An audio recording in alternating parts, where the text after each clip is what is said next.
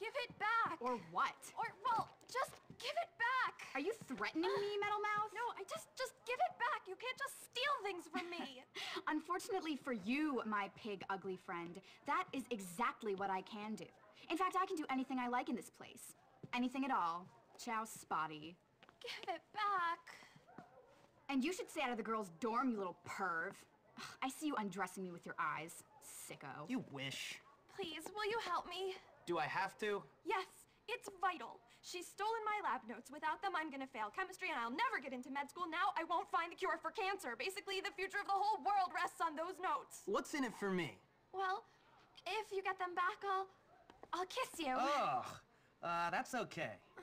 Well, okay, but if you don't, I'll tell the whole school you're some kind of sad sicko who spies on girls getting changed in their dorm. Relax. One set of lab notes coming up.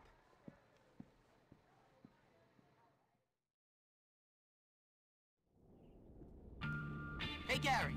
I need to get something from Mandy's locker. I'm not surprised. You know, you should put a stink bomb in there. It'd be funny. Get one from Fatty. He knows everything about stinking.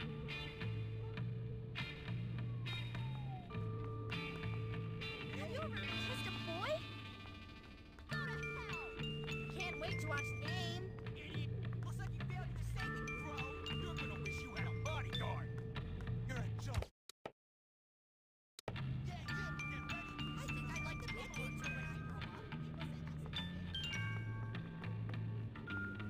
I don't understand why.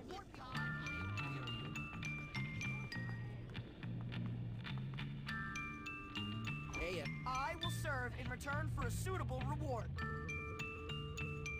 for you. There. Oh, we'll be best friends forever! And thus, our transaction concludes.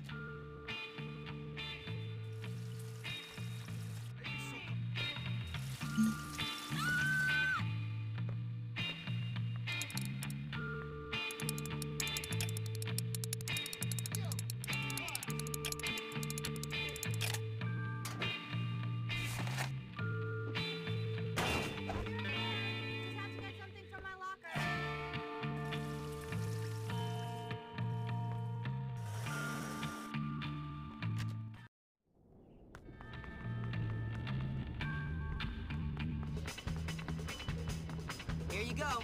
Oh, Jimmy, thank you. You're wonderful. You're incredible. Come here. I hope it gets easier. And done.